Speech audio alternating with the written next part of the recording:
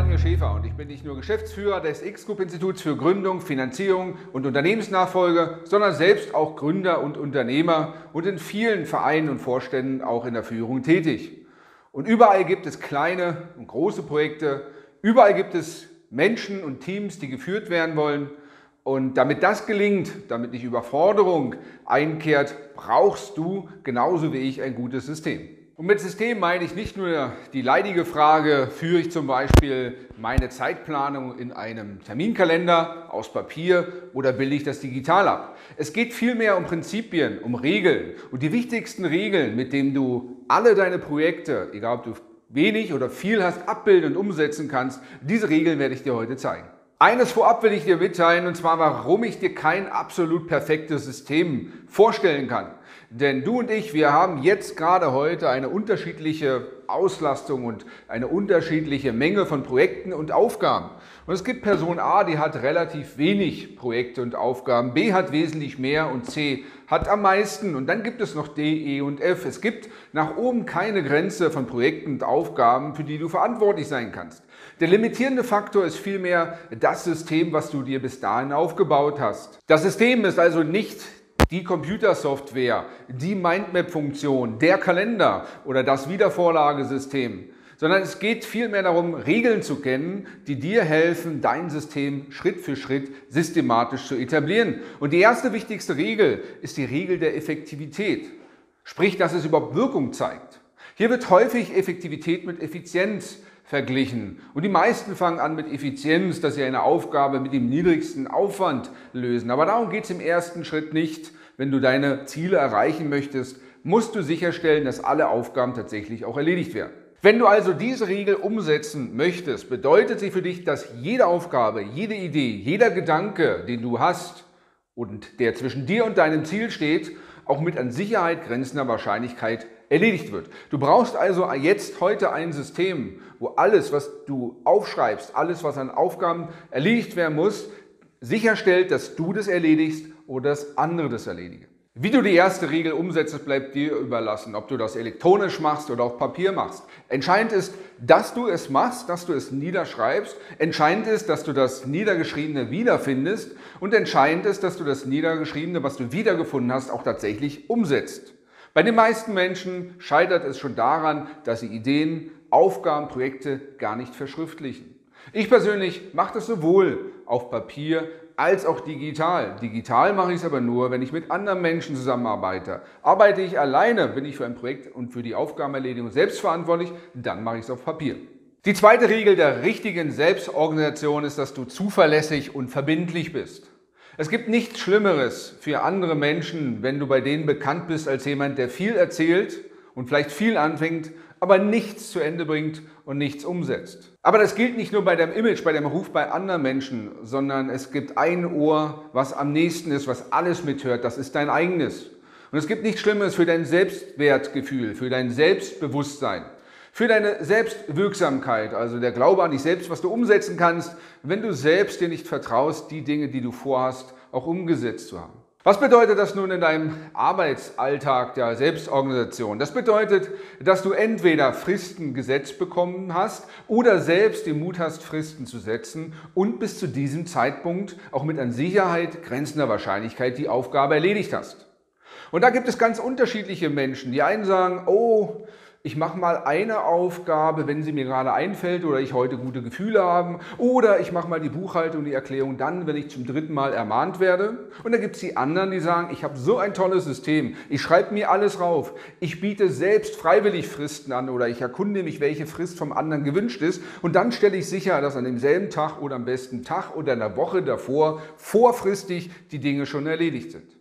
Die dritte Regel der richtigen Selbstorganisation ist, dass die angemessene Qualität erreicht wird. Was ist nun mit Angemessenheit gemeint?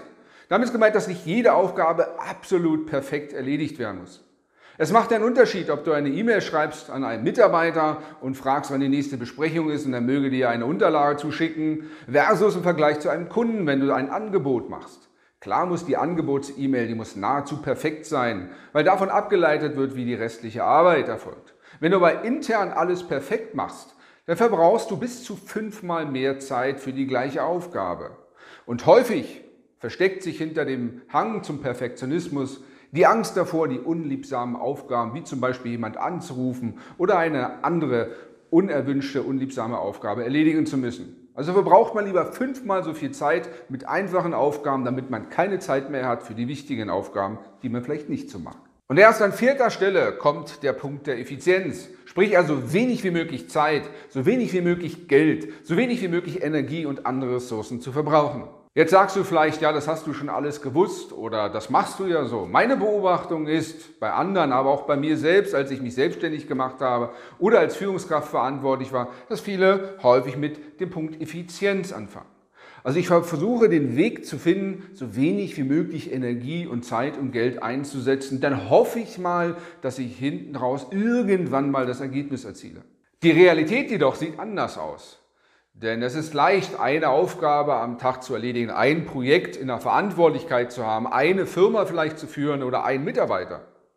Aber wenn du mehrere Ziele hast, wenn du mehrere Lebensbereiche hast, und die meisten haben sieben bis zehn Lebensbereiche, und wenn du nur in jedem Lebensbereich ein oder zwei Ziele pro Jahr setzt, dann hast du schon ruckzuck sieben, 14, vielleicht sogar 20 Ziele. Und aus jedem Ziel ist es normal, dass wiederum drei bis sieben Projekte herauskommen. Also bist du vielleicht schon bei 70 oder bei 140 Projekten. Und jedes Projekt wiederum hat in sich vereinigt die Erledigung von Aufgaben 10 oder 20 und schon bist du vielleicht bei 1000, bei 10.000 oder noch viel mehr Aufgaben, die erledigt werden wollen. Und zwar richtig dass die Wirkung erzeigt wird. Und dann am besten noch zuverlässig, dass du es überhaupt erledigst, bevor das Verfallsdatum durchschritten ist oder die Sache sich erledigt hat. Und natürlich sollte es dann in einer angemessenen Qualität auch erledigt sein und dann zum Schluss auch mit dem minimalsten Ressourcenaufwand.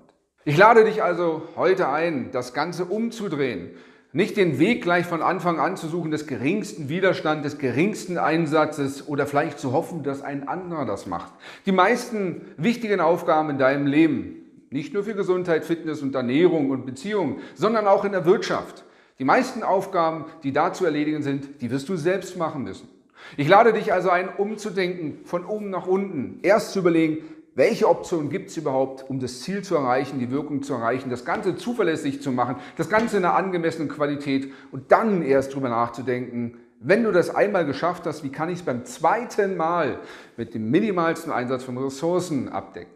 Entscheidend ist also nicht, was ist das beste System, ein Papierkalender mit einem physischen Wiedervorlagesystem oder ein Software oder ein Projektmanagementsystem mit Gantt-Diagrammen und Erinnerungsfunktionen und Kalendern. Entscheidend ist zunächst mal zu wissen, was ist die Menge der Aufgabenziele und Projekte, für die du verantwortlich bist. Für die Auswahl des Systems ist es also gar nicht so entscheidend, was am besten funktioniert, sondern ist vielmehr entscheidend, wie viele Aufgaben, Projekte und Ziele du hast und dann gehst du auf die Suche nach dem richtigen System. Und das richtige System muss dir helfen, diese vier Regeln abzubilden.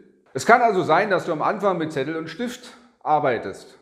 Aber spätestens, wenn du mit vielen Menschen gemeinsam an Projekten und Aufgaben arbeitest, macht es vielleicht Sinn, ein digitales System zu nutzen, um andere einzuladen, am gleichen Projekt zu arbeiten und die Aufgaben elektronisch zu verteilen, zu überwachen und mit Erinnerungsfunktionen zu übersehen.